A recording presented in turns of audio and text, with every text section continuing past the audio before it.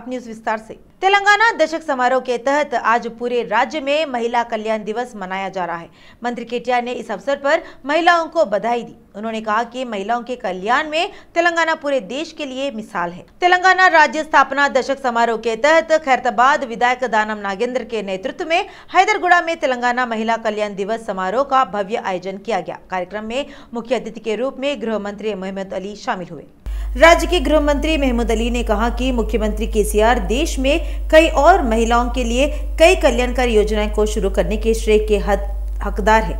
महिलाओं को चार करोड़ के ब्याज मुक्त ऋण के चेक वितरित किए गए। उन्होंने कहा कि भाजपा और कांग्रेस पार्टियाँ बकवास कर रही है। दाना नागेंद्र ने वोट की राजनीति के लिए अन्य पार्टियों के कई झूठे अभियान चलाने की बात करने के बाद यह स्पष्ट कर दिया कि केसीआर तीसरी बार फिर से मुख्यमंत्री का पद संभालेंगे। इस अवसर पर बड़ी संख्या में आई बालिकाओं व महिलाओं ने साड़ियों में वितरित की आज के दिन की मुबारकबाद देता हूँ। और आपसे एक ही गुजारिश करता हूँ कुछ मत कीजिए। आपका आशीर्वाद केसीआर साथियों पर है। नाजर बनाना नाजर नागर नागर रहना क्या सब पर रहना चाहिए? बाकी एमएलए जितने मोहब्बत के ऐसे लोग बहुत कम होते हैं। इसलिए मैं तमाम मेरे भाइयों से आज यही गुजारिश करता हूँ और जो स्कीम, इतनी बड़ी स्कीम है, आज जो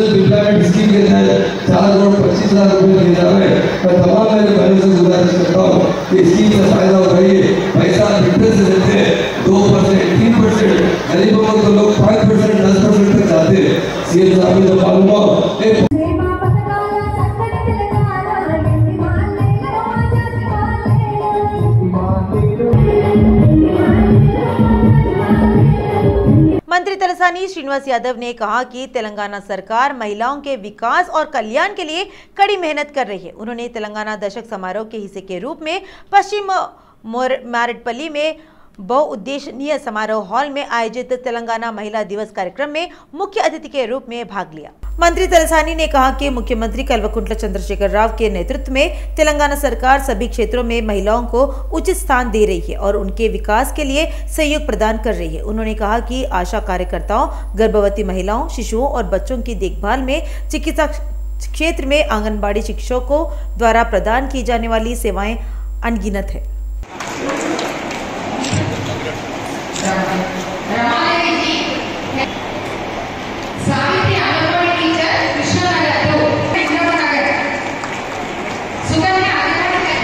राज्य की शिक्षा मंत्री सबिता इंदिरा रेड्डी ने कहा कि तेलंगाना पुलिस विभाग देश के अन्य राज्यों के लिए उदाहरण के तौर पर काम कर रहा है।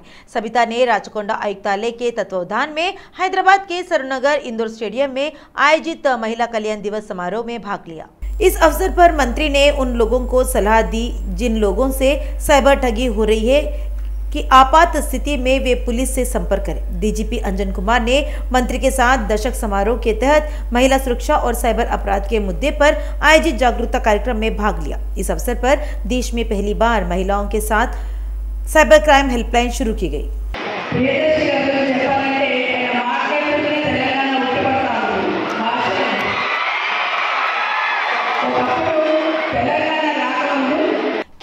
मंत्री किशन रेड्डी ने कहा कि केंद्र रोज़गार सृजन के लिए काम कर रहा है। केंद्रीय मंत्री ने कहा कि केंद्र सरकार एक और जहाँ कौशल विकास का कार्य कर रही है, वहीं दूसरी ओर सार्वजनिक और निजी क्षेत्रों में रोज़गार का मार्ग प्रशस्त कर रही है। उन्होंने सिकंदराबाद में लोअर टैंकबंड में पिंगली वेंकटरामी रेड्डी द्वारा आयोजित रोज़गार मेले में भाग लिया। केंद्रीय मंत्री ने नौ राष्ट्रीय बैंकों, डीआरडीओ, भारतीय रेलवे, रक्षा, स्वास्थ्य एवं परिवार कल्याण, हैदराबाद विश्वविद्यालय सहित 22 विभागों में नौकरी पाने वाले 470 लोगों को नियुक्ति पत्र दिए। उन्होंने प्रधानमंत्री नरेंद्र मोदी से कैबिनेट बैठक करने और सभी विभागों में रिक्तियों की पहचान करने को कहा। जब सभी रिक्तियों की गणना की गई तो पता चला कि लगभग 10 लाख पद है। उन्होंने कहा कि चूँकि 10 लाख रिक्त पदों पर एक साथ भर्ती करना संभव नहीं है, इसलिए प्रधानमंत्री उन्हें सत्तर हज़ार प्रति माह की दर से भर रहे हैं। किशन रेड्डी ने कहा कि प्रधानमंत्री खुद रोज़गार मेले का आयोजन करते हुए नौकरी चाहने वालों से बात कर रहे हैं।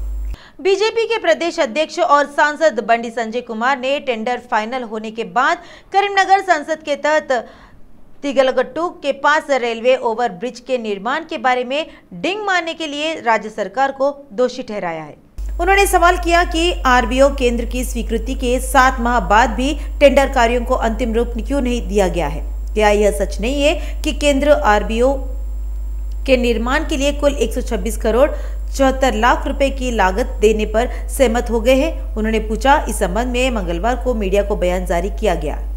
यह क्या यह सच नहीं है कि उन्होंने कई बार सरकार को आरबीओ का निर्माण कार्य शुरू करने और जल्द पूरा करने के लिए लिखा है? क्या यह सच नहीं है कि बीजेपी नेताओं ने देरी का विरोध किया है?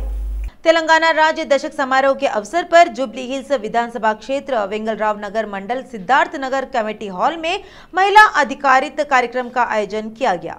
कार्यक्रम में मुख्य अतिथि जुबली हिल्स विधायक मागंटी गोपीनाथ थे। उन्होंने कहा कि तेलंगाना राज्य में महिलाएँ सम्मानित जीवन जी रही है और सीएम केसीआर ने महिलाओं के लिए कई कल्याणकारी योजनाएँ शुरू की है। इस कार्यक्रम में जीएचएमसी के उपायुक्त रमेश, स्थानीय पार्षद C CN Reddy, Rajkumar Patel GHMC के अधिकारी, बीआरएस नेता और कार्यकर्ता शामिल हुए।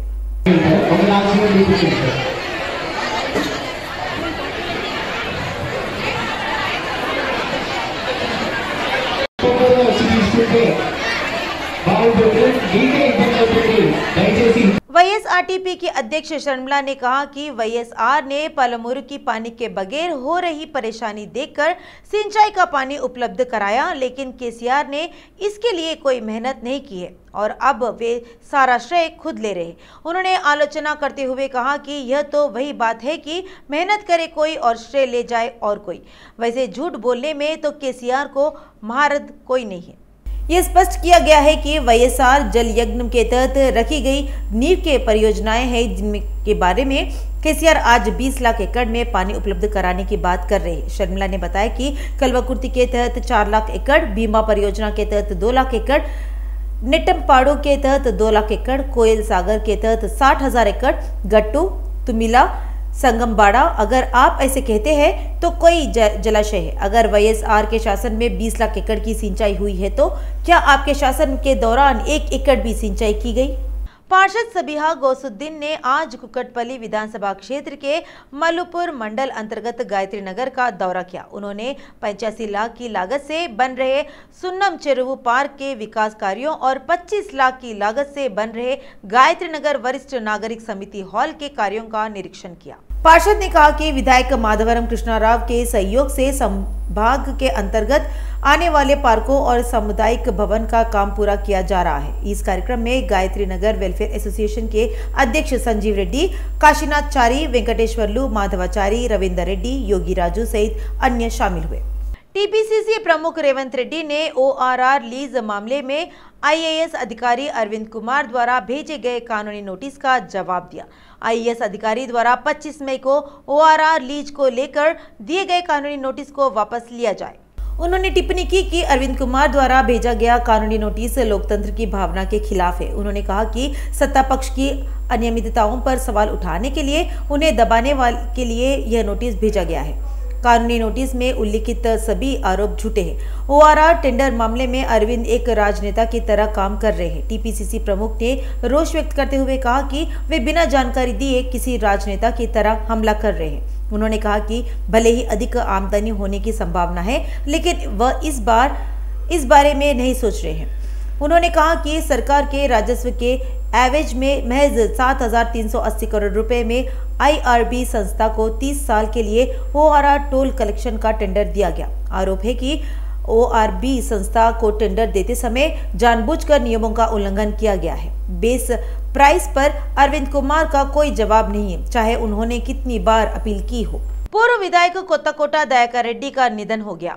दयाकर रेड्डी ने आज सुबह करीब पाँच बजे गच्चीपोली ये अस्पताल में इलाज के दौरान अंतिम सांस ली। दयाकर रेड्डी ने पिछले कुछ समय से कैंसर से पीड़ित थे। कोताकोटा दयाकर रेड्डी टीडीपी की ओर से तीन बार विधायक के रूप में जीते। वे दो बार अमर चिंता से और एक बार मक्तल से विधायक चुने गए। दयाकर रेड्डी ने टीडीपी के राष्ट्रीय महासचिव के रूप में कार्य किया। प्रमुख राजनीतिक नेताओं और तेलुगु राज्यों के प्रमुख लोगों ने दयाकर रेड्डी की मृत्यु पर शोक व्यक्त किया। एर्रबेली दयाकर ने कहा कि दयाकर रेड्डी की आत्मा को शांति प्रदान करे और उनके परिवार को सदस्यों को साहस देने के लिए ईश्वर से प्रार्थना कर रहे दयाकर रेड्डी ने परिवार के प्रति गहरी संवेदना व्यक्त की। उन्होंने कहा कि वह भगवान से उनके परिवार के सदस्यों को हिम्मत देने के लिए कह रहे हैं। टीपीसीसी प्रमुख रेवंत रेड्डी ने पूर्व विधायक दयाकर रेड्डी के निधन पर शोक व्यक्त किया है। उन्हें दुख हुआ है कि दयाकर रेड्डी की मृत्यु ने उनसे एक अच्छा दोस्त खो दिया। रेवंत ने इस मौके पर याद किया कि दयाकर रेड्डी हमेशा लोगों के बीच रहते थे और उनकी समस्याओं का समाधान किया करते थे। मैं अपने पूर्व विधायक और करीबी दोस्त कोतकोटा दयाकर रेड्डी की असामिक मृत्यु से दुखी हूँ। पालमूरू ज़िले से तीन बार के विधायक के रूप में उनकी सेवाएँ यादगार है। देवंत रेड्डी ने ट्वीट किया कि भगवान से प्रार्थना करें कि उनकी आत्मा को शांति मिले। परिवार के सदस्यों के प्रति मेरी गहरी संवेदनाएँ हैं। इस बीच पूर्व विधायक दयाकर रेड्डी का आज बीमारी के कारण निधन हो गया। उन्होंने तीन बार टीडीपी के विधायक के रूप में कार्य किया। मेडचल और निजामाबाद रेलवे लाइन पर डबलिंग का काम ठंडे बस्ते में है। इस लाइन पर सिंगल लाइन होने की वजह से रेलगाड़ी अक्सर देरी से चलती है। क्रॉसिंग के दौरान अलग अलग स्टेशनों पर एक से ज़्यादा रेलगाड़ियाँ लगभग 20 मिनट से ज़्यादा समय के लिए खड़ी कर दी जाती है। इससे रेल यात्रा में भले ही कम खर्च आता हो, लेकिन गंतव्य तक पहुँचने में अधिक समय लगता है। अगर वे तत्काल ट्रेन में सवार हो जाते हैं तो उन्हें चिंता होती है कि क्रॉसिंग के नाम पर उन्हें कहाँ रोका जाएगा। नलगोंडा ज़िले के नागार्जुना सागर विधानसभा क्षेत्र में कांग्रेस विधायक दल के नेता भट्टी विक्रमार का जन मार्च उन्यासीवे दिन भी जारी रहेगा। गुर्रम्मा पोडू मंडल ने आज चिकवूर चौराहे से पदयात्रा निकाली। यह मार्च Chepuri cross road Gurram Podu Kattavarigudem, Peetlagudem, Koppolu, Avagudem Lakshmidevi Gudem cross road के बाहरी इलाके तक जारी है। जन मार्च पदयात्रा के अवसर पर आज सुबह 11 बजे गुरमपोड़ू पहुँचने पर नुक्कड़ सभा का आयोजन किया गया। आज दोपहर पितलगुड़म क्रॉस रोड के बाद लंच ब्रेक। सीएलपी नेता भट्टी विक्रमार्क लक्ष्मी देवी गुड़ेम क्रॉस रोड पर रात्रि विश्राम करेंगे।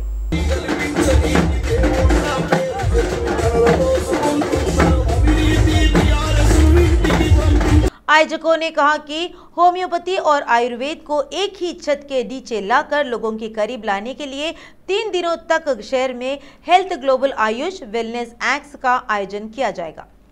राज्य के स्वास्थ्य एवं चिकित्सा मंत्री हरीश राव इस महीने की 22 से 25 तारीख तक HITEX international convention and exhibition centre में आयोजित एक्सपो का उद्घाटन करेंगे। Somajiguda press club health expo की अध्यक्ष फनीश्री कुंटे महासचिव डॉक्टर सत्यनारायण दोरनाला समन्वयक डॉक्टर सुनीता ग्रेस ने एक्सपो के पोस्टर का अनावरण किया। इस अवसर पर उन्होंने कहा कि इस एक्सपो का मुख्य उद्देश्य वैश्विक आयुष के तत्वाधान में आयुर्वेदिक, यूनानी, योगा, प्राकृतिक चिकित्सा, सिद्ध और होम्यो चिकित्सा सेवाओं को लेना है। संबंधित विभागों के health, wellness, beauty, food, nutrition और फार्मा उत्पादों के साथ साथ प्रदर्शनी बताएगी कि व्यक्ति को स्वस्थ और सुंदर कैसे होना चाहिए।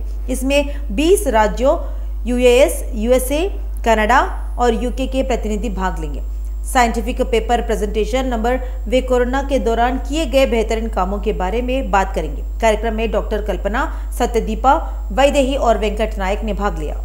खम्भम जिला कांग्रेस कार्यालय में झड़प हुई। इस झड़प में प्रमुख कार्यकर्ताओं की बैठक में हुई। इस सभा में खम्भम ज़िले के नेताओं के खिलाफ नारेबाजी की गई। भद्राद्री ज़िले के चंद्रगौड़ा, जेडपीटीसी कोडगंडला वेंकट रेड्डी को सीट नहीं देने को लेकर घटना हो गई। कार्यकर्ताओं ने विरोध किया कि भद्राद्री ज़िले में जीतने वाले एकमात्र जेडपीटीसी का अपमान किया गया। कांग्रेस के जलाध्यक्षों ने नीचे उतरा, कहते हुए नारे लगाए।